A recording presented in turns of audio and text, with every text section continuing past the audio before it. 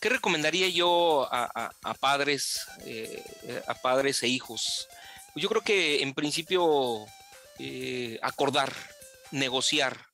Este, todos, todos de alguna forma hemos sido muy este, eh, atraídos, seducidos por los lo que llamamos nuevos medios, este, le, llaman las redes sociales, este, bueno, pero por todo este nuevo espacio que ha expandido otras capacidades de nuestras relaciones.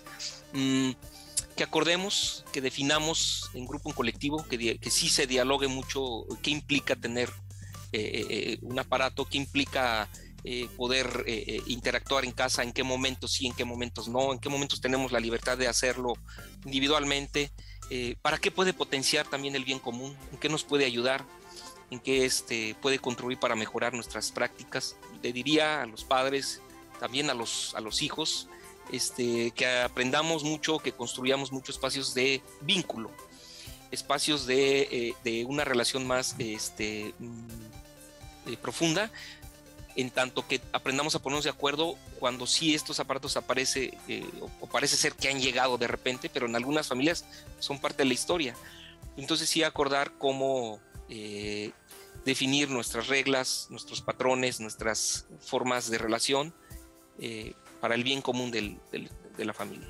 ¿En qué, ¿En qué momento o de qué manera la, falta de comunicación o la ausencia de comunicación puede ser una, forma de violencia? Y sí, los silencios, eh, sí, eh, lo que le llamamos nosotros este, la ley del hielo y ese tipo de cosas pueden ser eh, y así otras cosas pueden parecer que, ah, pues no hay comunicación, sí hay, sin embargo, sí está eh, contribuyendo a un tipo de violencia, un tipo de violencia, un tipo de afectación al grupo.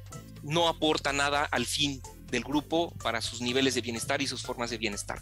Si hay algo que va en contra de eso, ahí sí puedo decir yo que, que afecta y ahí sí que la comunicación que se practique está afectando. Y esto puede ser eh, expresada, este, si manifiesta con palabra, con voz, con acciones o con silencios también.